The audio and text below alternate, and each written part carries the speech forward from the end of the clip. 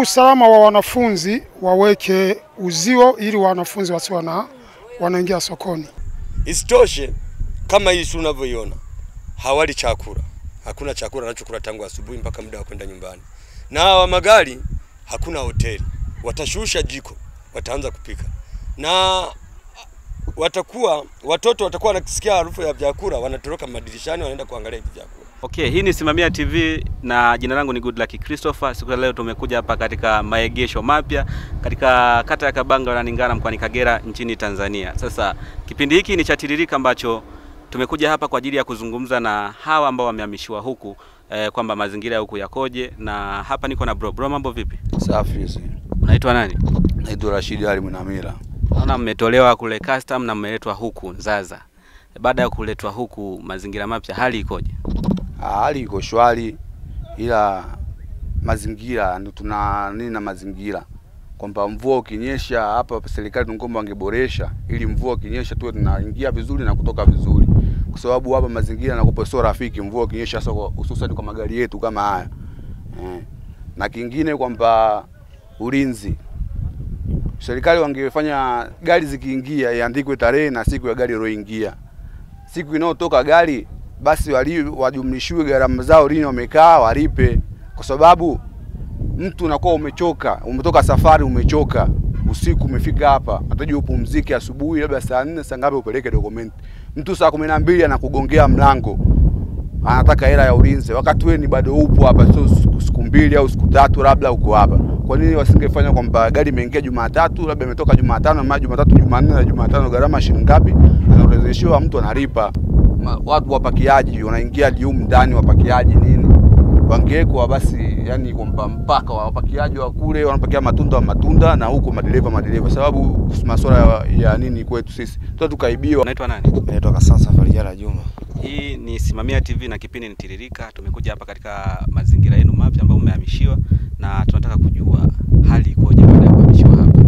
Ah, Hali ndio kama unavyoiona hivi, lakini mi naona wa- walioamua jambo hili wamefanya la busara, lakini naona kama vile wamelikurupuka nalo, kwa sababu ilikuwa natakiwa kwanza wafanye utaratibu. Ujue kama sasa hivi hapa huduma ndogo ndogo za kwetu sisi madereva tunazikosa. Kule parking ya zamani tulikuwa tunatoka tunakotoka, tukifika pale tunanua unga, sukari, michele nini, lakini sasa inatugharimu tu, maana sasa sisi tunaingia gharama nyingine, ukodi pikipiki hapo, urudi mpaka Kabanga kwenda kutafuta vitu vingine huko.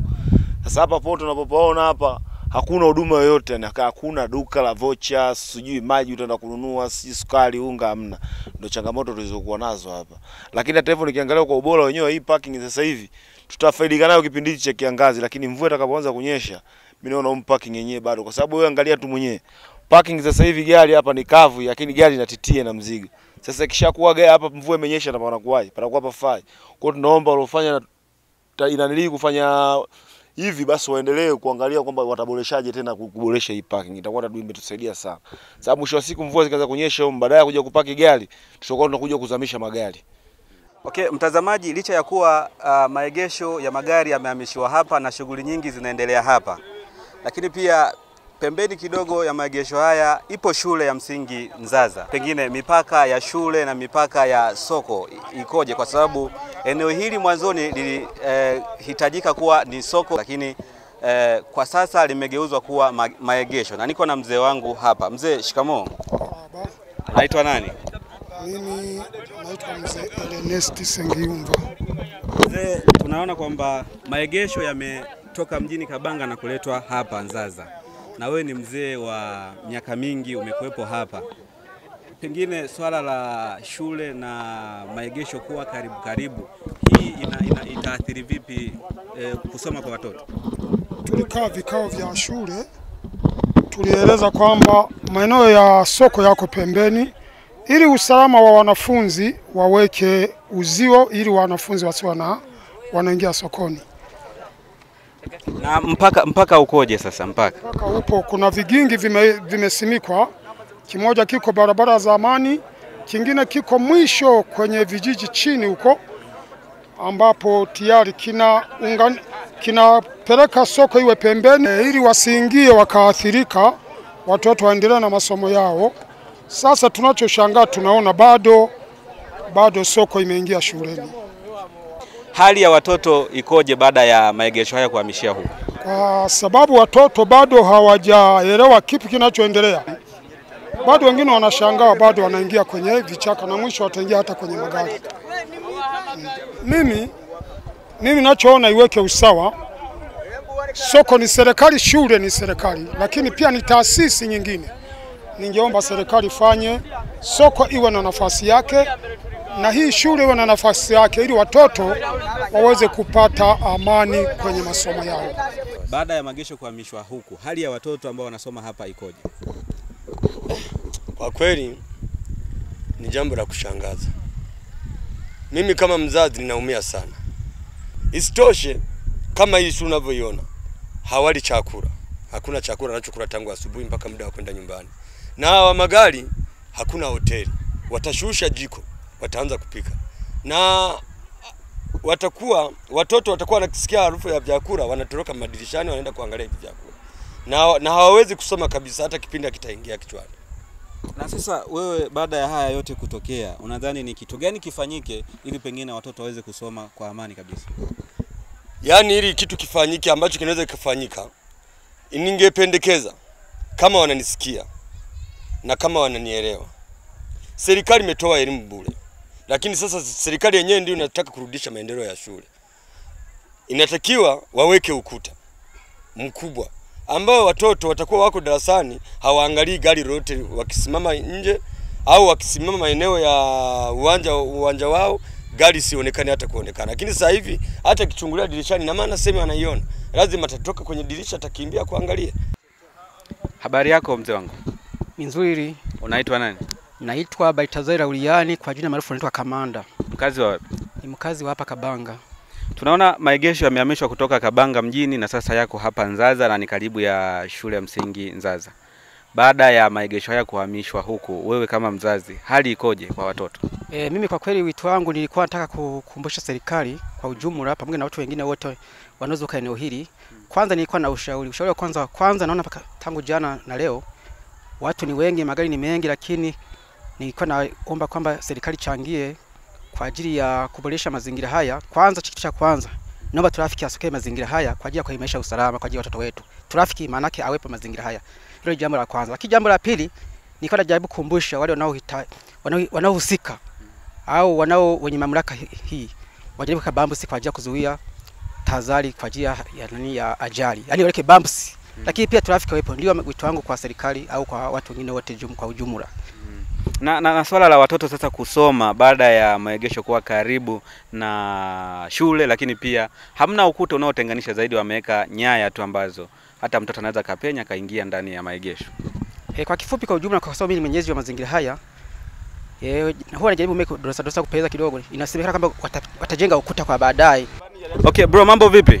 Ah, freshi. Unaitwa nani? Naitwa Shaban. Wewe una shirika la nini hapa? Yaani mimi nachambua parachichi hapa. Ah, tunaona mwanzoni mlikuwa mnafanyia shughuli zenu mjini, lakini sasa hivi mnaletwa huku Nzaza. Baada ya kuhamishiwa huku, hali ikoje? Yaani hali bado hatujazoea kabisa yani tulikuja tuli jana bado yani tunaangalia mazingira yanavyokuwa kabisa kama tulipokuwa mwanzoni. Changamoto kubwa ni nini hasa? Hapa yaani changamoto kubwa kabisa yani kama chakula nini fresh, naona baadaanza kufanya maandalizi yani watuletee chakula tu tunanunua nini. Eh, ndio shida yani kabisa lakini naona kabisa imeanza kuja kuja Nini unatamani kiongezwe ambacho kwa sasa hivi hakikuwepo? mm. yaani kitu ambacho mtu anatamani ki, kiwepo yani kama manani eh, sehemu ya kuuzia vyakula yani viwepo wanaletea vyakula wao nauza uza freshi au maduka ya kuuza kama maji nini masoda nini freshi eh, ndio hicho hicho Hivi ikitokea mvua ikanyesha sasa, mtakuwa mnajikinga wapi? labda tutaenda kwenye ile nani tutachika kwenye hiyo hiyo hiyo nyumba hiyo nani Inatosha? haija- haija- haijamalizika Itatosha? E, itatosha tu Simamia TV imefika katika shule ya msingi Nzaza. Lengo tuweze kuzungumza na uongozi wa shule hiyo, lakini kwa bahati mbaya hatujaweza kumkuta mkuu wa shule ambaye angeweza kuzungumza na tuambie hali halisi baada ya maegesho haya kuhamishwa kutoka Kabanga mjini na kuja hapa karibu na shule ya msingi Nzaza, pengine imeathiri vipi wanafunzi ambao wanasoma katika shule ya Nzaza. Na hapa sasa nampigia simu e, mwalimu mkuu wa shule ya msingi Nzaza bwana David Williams e, tusikie yeye ana nini cha kuzungumza kuhusiana na e, jambo hili.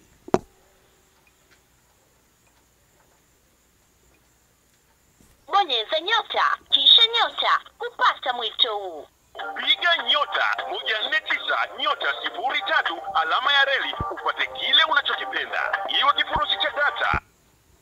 Halo, Eh, halo mkuu. habari ya kwako?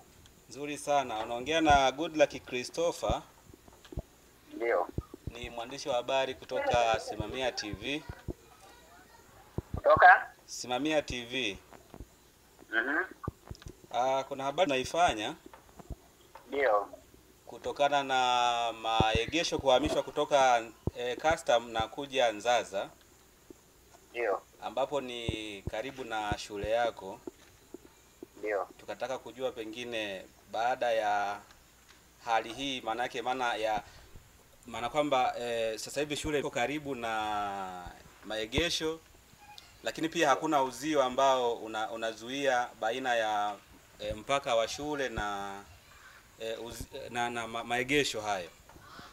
Pengine sasa baada ya maegesho kuhamia pale, hali ikoje kwa upande wa e, wanafunzi wako? Sasa unajua hizi kazi za uandishi wa habari tunachukua tuongee tukiwa ofisini.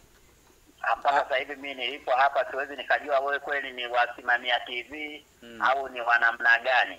Mimi naomba kama una mahojiano ndio kutana ofisini ndo tufanyie mahojiano ofisini. Eh, nilifika Hapo nilifika tatizo nieleze nini na niache nini. E, ni kweli nilifika nilifika shuleni Ndio. kwa bahati mbaya nikakuta umeshaondoka pale, na ndio maana nikakupigia simu kwa sababu umesema kwamba e, tutakutana ofisini kuzungumza. Pengine ningejua ni lini utakuwepo ofisini ili niweze kuja ofisini. Huwa muda wa kazi wote nitakuwepo kazini. Ijumaa maana kesho ni sikukuu, ni holiday. Mm. Siku nyingine nakuwepo Ijumaa. Siku za kazi zote huwa nakuwepo kazini. Nitahakikisha nimekuja shuleni tuweze kuzungumza ukiwa ofisini. Karibu sana. Sawa. Okay, mtazamaji wa Simamia TV, kama ambavyo umeweza kumsikia mwalimu wa shule ya msingi Nzaza e, kwa upande wake amesema hawezi kuzungumza kwa njia ya simu, lakini tutahakikisha e, siku hiyo ya Ijumaa ambayo amesema atakuwa yuko ofisini, tutakwenda kuzungumza naye kwa ajili ya kuweza kujua kwamba je, kuwepo kwa maegesho hayo karibu na shule ya msingi Nzaza kuna athari yoyote ambayo imejitokeza na kama ipo ataweza kutueleza. Kwa hiyo sina cha kuongeza wala sina cha kupunguza, naamini umeweza kusikiliza kwa umakini kabisa. Jina langu naitwa Godluck Christopher na hii ni Simamia TV.